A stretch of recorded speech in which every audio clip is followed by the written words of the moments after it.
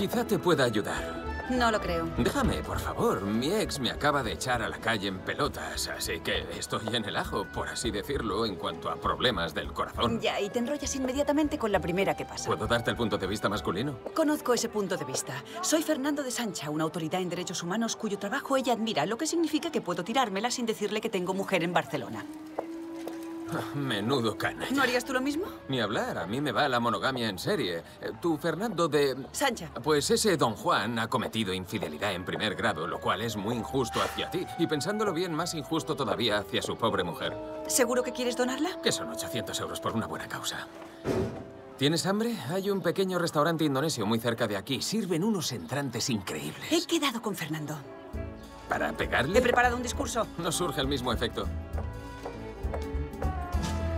Ahí está. Me he quedado en blanco. Está bien. eh, Vamos, suéltalo. Finge que soy él.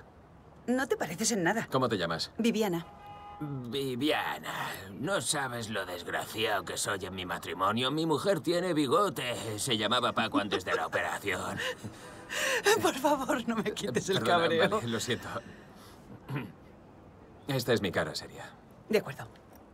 Fernando, serás toda una autoridad en derechos humanos. Tendrás un cociente intelectual de 200 y un pene de 30 centímetros. Caramba, vaya Pero cociente. mentirnos a tu mujer y a mí te convierte en un patético y penoso cobarde. El típico cerdo hipócrita del que quiero olvidarme. Eh, Me niego a seguir alimentando tu ego. Eres un maldito capullo farsante. ¡Come mierda! Estaba traduciendo del español. Está bien. ¿Sí? Sí,